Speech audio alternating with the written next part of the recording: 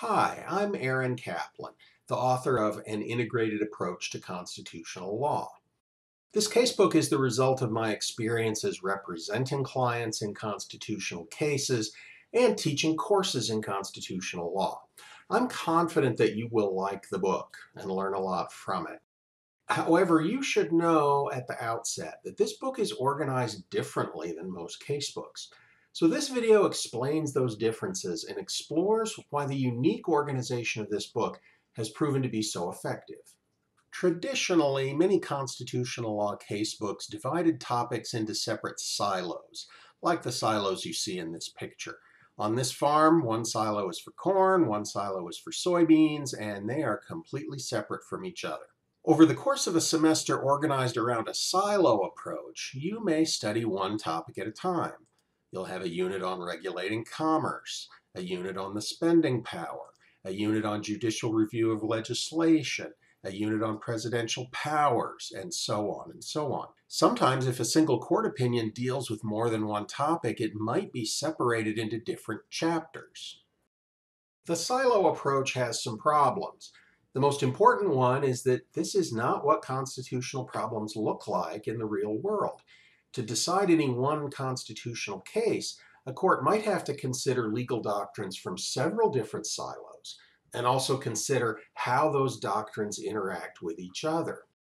Moreover, your final exam will probably not be broken up into silos either. Most teachers try to construct a factually realistic problem that can only be understood by using more than one tool at a time. So overall, the silo approach is not a good way to understand the big picture of what's going on. Here's another metaphor that you might find helpful. Reading a book that is structured with the silo approach is sort of like downloading a picture from the internet one row at a time. Eventually, you see the whole picture, but at any one moment, your focus is solely on the new information coming in, pixel by pixel. Let's look at that again. Now pay attention to when in the process you finally start to understand the big picture.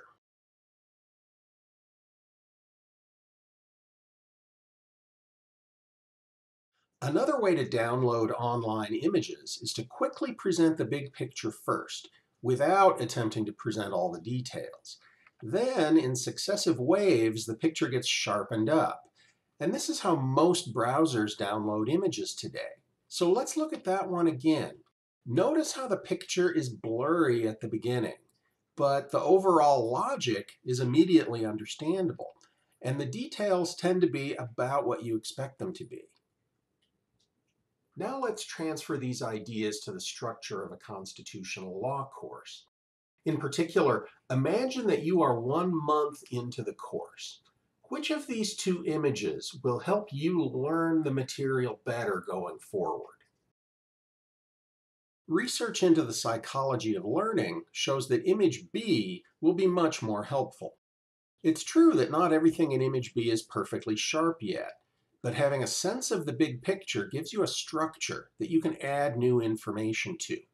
Image A shows one part of the picture in greater detail, but you have no structure on which you can fit new information. In light of these ideas, the idea of the book structure is to give you a big picture at the outset and saving the details of particular doctrines for later.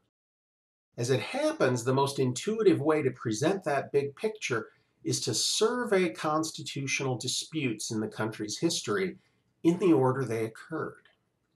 The material in Part 1 that is presented chronologically will introduce you to all of the central ideas that are necessary to participate in today's constitutional law conversations. Let me be candid with you about something. Some students have reported to me that during Part 1, some of the concepts feel a little fuzzy. And you know what? That's completely normal. Some of the early cases raise about as many questions as they answer. If you feel like there's more to the story that you don't know yet, that's a good sign. It shows that you're curious, and it shows that you're going to be ready for more detail later on when it gets presented. Many of those same students who say they felt fuzzy at the beginning also told me that by halfway through the semester, they felt like they understood this class better than they did many of their other courses. Now, this start slow but quickly finish fast is because the big picture that you learn in part one makes it easier for you to understand the details that get presented later. Parts two and three are organized by topic. Specifically, part two revisits and updates the part one concepts involving the structure of government. And part three revisits and updates the part one concepts involving individual rights. Notice that I said parts two and three revisit some earlier concepts. Revisiting ideas turns out to be very educationally important.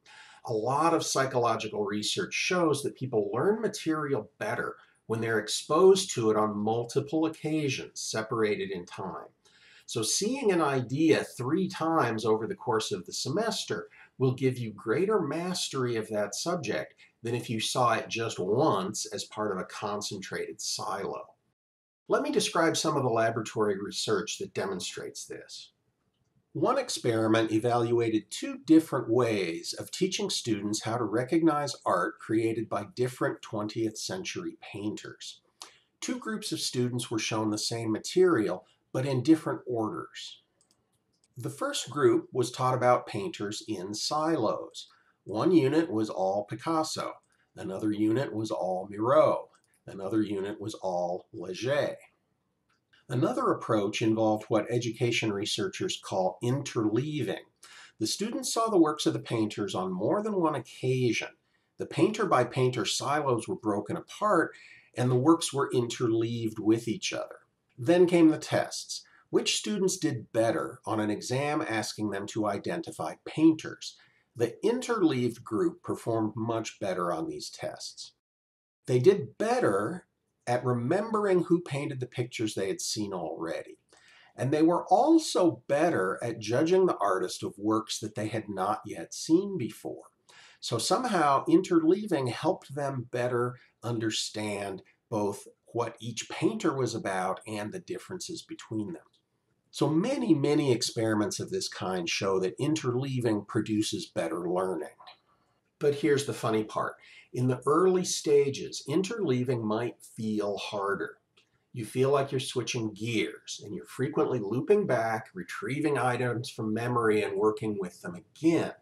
But all the studies show that this leads to better comprehension, better long-term memory, and better test performance.